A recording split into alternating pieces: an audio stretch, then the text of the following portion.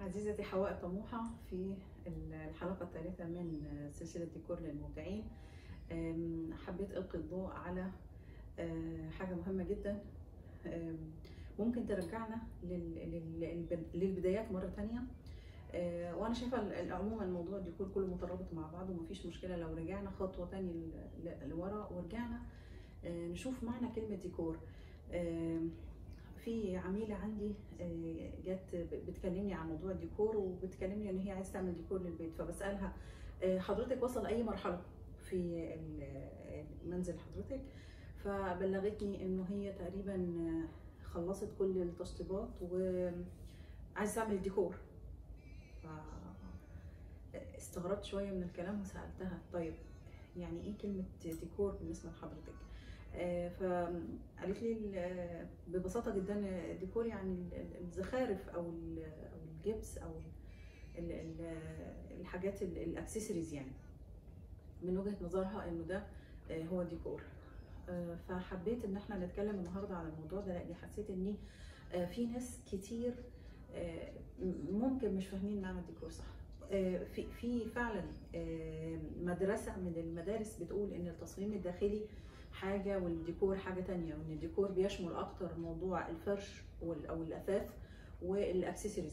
آه، لكن أنا من وجهة نظري شايفة ال- ال- الموضوع ممكن يكون مش واحد ولكن آه، متكامل.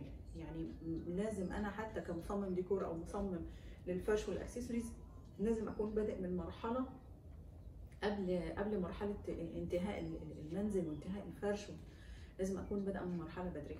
آه، معنى كلمة ديكور كمعنى اصطلاحي كلمة ديكور هي كلمة فرنسية الأصل. يعني أنا ما- درستش اللغة الفرنسية ولكن أعتقد إن هي نطقها ديكور. معناها كمعنى اصطلاحي في اللغة الفرنسية هي إيجاد حلول. هي إيجاد حلول للمشاكل الموجودة داخل الفراغ المعماري. والتنسيق والتنظيم والترتيب للفراغ المعماري. آه، لا ليس معناها الزخرفه لا يعني كلمة الديكور الزخارف أو الإكسسوارات. آه، للأسف أنا يعني أصلا غير متفقة تماما على كلمة إكسسوارات لأن ما فيش حاجة في الديكور اسمها إكسسوارات. الديكور عبارة عن وحدة متكاملة. وأنا بفكر في الغرفة بفكر في آه، أرضيتها سقفها حوائطها شباكها بابها. الفرش الموجود فيها ايا كان فرش أساسي أو آه، فرش آه، ثانوي أو تكميلي آه، الستارة ال- ال- الفرش ممكن يوصل للطاولة اللي محطوطة في الجنب أو ال- ال- الطاولة اللي عليها الفازة اللوحات. جزء أساسي جدا من الديكور لأنه تخيل كل جدراننا بيضة وفاضية هتكون مملة ومش هيكون يعني في آه، بهجة أو في آه، رونق للمكان. بالتالي أنا شايفة إن الديكور وحدة متكاملة. من بداية التصميم وإحنا بنفكر في الديكور اللي هم الناس كلها شايفينه الأكسسوارز أو المرحلة الأخيرة أو الزخارف وال- والديكور وال آه، يعني مثلا مش هروح لمصمم ديكور غير لما لما أكون عايز أعمل Moroccan style آه، مجلس مثلا. آه، لأن ده لازم يكون ليه مصمم. لا. في جميع الحالات حضرتك بتعمل تصميم داخلي أو ديكور لبيتك حتى لو ما رحتش للمصمم. طب النتيجة بتبقى إيه؟ إنه حضرتك اللي بتعمل الديكور ده أو بتسيبه للمقاول أو بتسيبه للاستشاري اللي هو ممكن يكون آه، حضرتك حطيت الموضوع في إيد الشخص الخطأ. آه، للأسف حضرتك الشخص الوحيد اللي هيفضل يعاني طول حياته من الاختيارات الخطأ دي لمجرد إنك ما شفتش أهمية آه، قيمة موضوع ديكور آه، في حياتك أو تأثيره عليك. أنا حابة هنا أكد على حاجة. آه، مفيش حاجة اسمها آه، يا جماعة أنتوا هتعملوا تصميم داخلي؟ لا مش هنعمل. طب ده معناه حضرتك إنه حضرتك هتقعد على البلاط؟ آه، ولا حضرتك هتقعد سوري يعني هنعمل البيت ونقعد في الحديقة؟ مفيش حاجة اسمها مش هعمل تصميم داخلي أو مش هعمل ديكور. في جميع الحالات حضرتك بتعمل ديكور وفي جميع الحالات حضرتك بتعمل تصميم داخلي. آه، ولكن هل هو تصميم داخلي؟ مدروس. آه، هل هو تصميم داخلي عشوائي؟ آه، هل هو تصميم داخلي هيأثر عليا بالسلب ولا بالإيجاب؟ آه، من هنا أنا شايفة ان إن موضوع التصميم الداخلي أو الديكور هو آه، من أهم الحاجات اللي في حياتنا. أنا بعد يوم طويل من العناء والتعب والشغل والخناق وال... بالنسبة لشغلي كمهندسة مع مع مقاولين مع مهندسين في النهاية أنا عايزة أرجع بيتي ألاقي واحة ألاقي جنة ألاقي مكان مريح ألاقي مكان أهدي فيه أعصابي مش أروح ألاقي ال- ال- ال- الكراكيب وال أو المكان فاضي وممل وكئيب.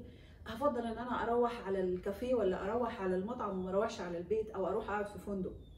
آه، ليه إحنا بنحب الفنادق؟ لأن ال design بتاعها أو التصميم الداخلي بتاعها بيكون مدروس. ال interior design بتاع الفندق بيبقى مدروس.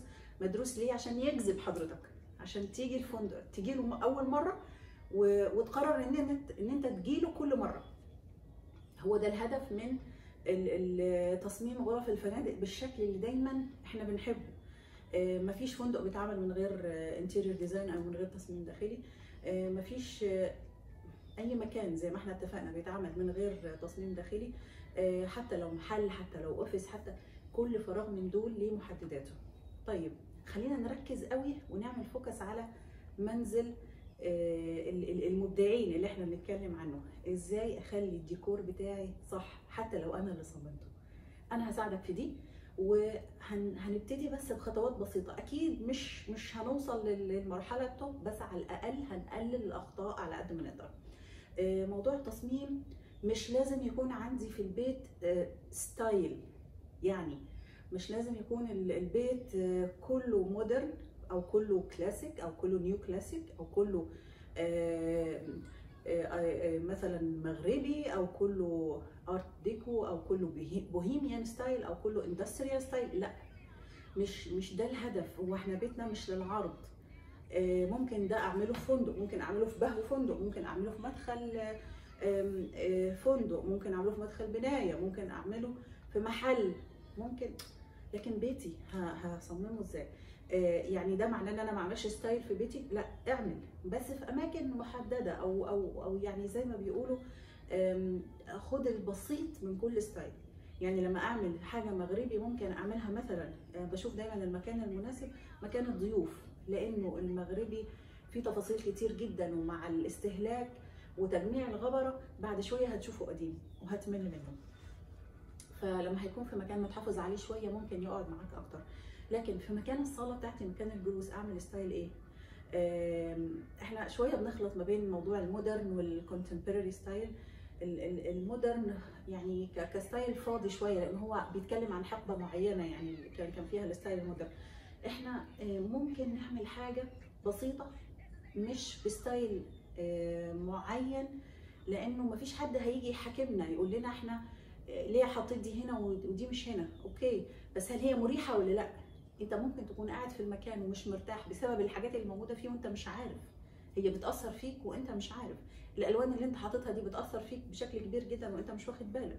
زي ما إحنا اتكلمنا الموضوع عن موضوع الراحة الإنسانية. الراحة الإنسانية دي هت... هتحققها إزاي؟ آه، هي إيه الراحة الإنسانية؟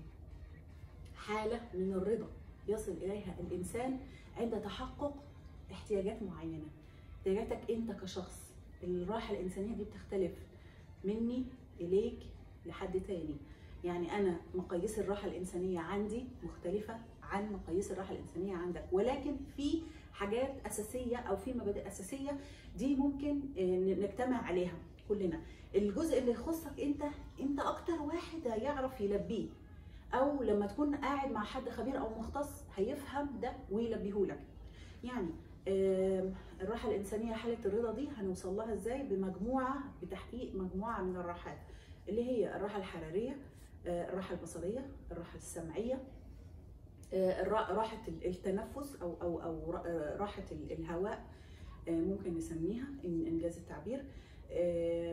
في عندنا أنواع كتيرة جدا من الراحات. خلينا عشان هسردهم كلهم ونرجع آه، نقولهم من الأول خلينا نتكلم عن دول. موضوع الراحة الحرارية يعني إيه الراحة الحرارية؟ يعني أنا الصالة اللي أنا قاعد فيها طول الوقت آه، أنا وأسرتي حاططها في اتجاه الجنوب ولا في اتجاه الغرب ولا في اتجاه الشرق الصريح ولا في أنهي اتجاه؟ إيه الأنسب؟ طيب آه، حطيتها في اتجاه معين وده فرض عليا.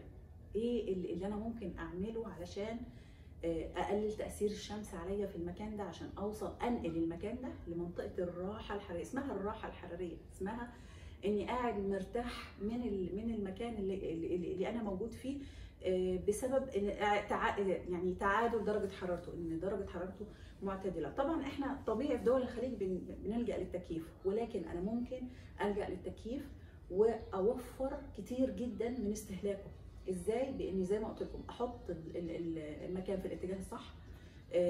اتجاه الشمس آه، يكون مدروس مع الشباك أو مع مع المكان اللي بيدخل الإضاءة بشكل أكبر.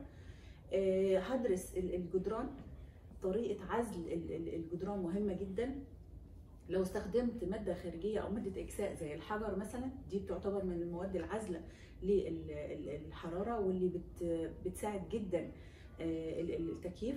طبعا الطابوق المعزول ده ده ممكن يكون حاجة أساسية بس أنا مع استخدام الحجر بفضل إن إحنا نعمل الطابوق السوليد مع الطابوق اللي هو الطوب اللي بنبني بيه ال- ال- الجدران. نستخدم معاه الروك وول مع ال- الحجر ده بيدي عازل أكتر وبيدي صلابة أكتر للجدار لأن الجدار بيكون شايل من بره حجر ومن الداخل آه، فيه لسوكتات الكهرباء وممكن نحط تلفزيون ممكن كذا فالجدار بيكون ضعيف. آه، ف آه، إحنا عزلنا الجدار حمينا الجدار. ال- الزجاج مواصفات الزجاج في بيتي مواصفات الزجاج في بيتي مواصفات الجدار في بيتي بتحقق لي الراحة الحرارية اللي هي بتوديني للراحة الإنسانية. معقول؟ أيوه معقول. التصميم الداخلي ابتدالي من النقطة دي.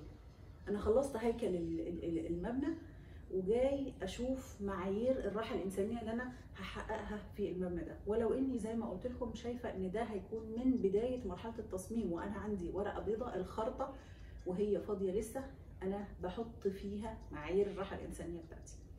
آه، شيكنا على الطابوق وعزله شيكنا على ال- ال- الشباك ومواصفات ال- ال- الزجاج و- و- ونفاذيه ال- ال- ال- الضوء أو نفاذيه الحرارة من الزجاج والالومنيوم آه، شيكنا على عزل ال- السطح عزل المبنى.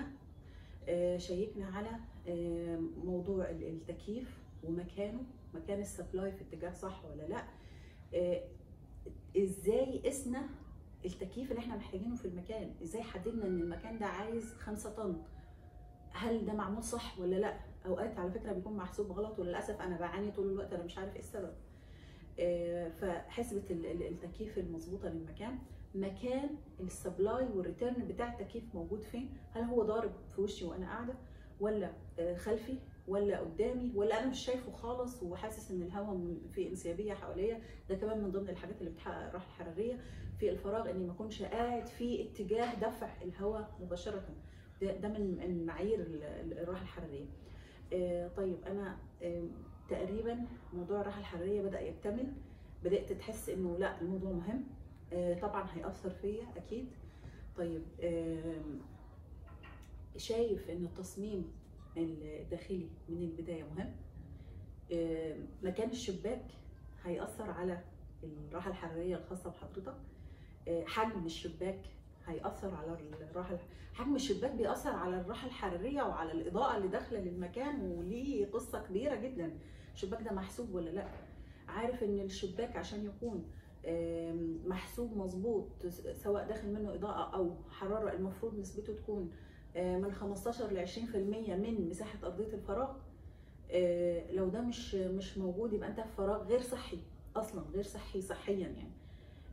موضوع الإضاءة ده موضوع مهم جدا. الإضاءة الطبيعية الإضاءة طبعا ال ال ال ال الإضاءة الصناعية أو أو أو اضاءه ال spot light أو بأنواعها كلها يعني الإضاءة الصناعية بشكل عام آه، مهمة جدا.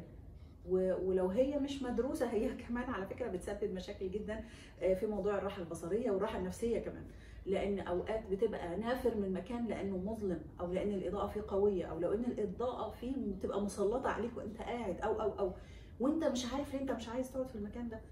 والله بتجيني بتجيني آه، بيجيني ناس كتير. أنا عايزة أغير ديكور البيت لأني مخنوقة منه. طب ليه؟ تعالوا نرجع. الموضوع بيبقى بسيط جدا. يا دوب تغيير وحدة الإضاءة اللي في المكان والموضوع انتهى. صدقوني. آه، فبالتالي ال- ال- الراحة الإنسانية اللي إحنا عايزين نحققها دي ليها يعني مشوار طويل قوي. هنمشي مع بعض وهمشي معاكم للآخر. علشان بجد أنا يهمني جدا جدا جدا إن إحنا نكون كلنا بيوتنا معمولة على أو مصممة على مبادئ ال- ال- الراحة الإنسانية لأني اخذت وقت طويل جدا عشان أدرس ده وأطلع المادة دي في الآخر مجمعة بال- بال- بالشكل ده. حابة إني أوصل لكم المعلومة وحابة إن كلكم تكونوا مبدعين.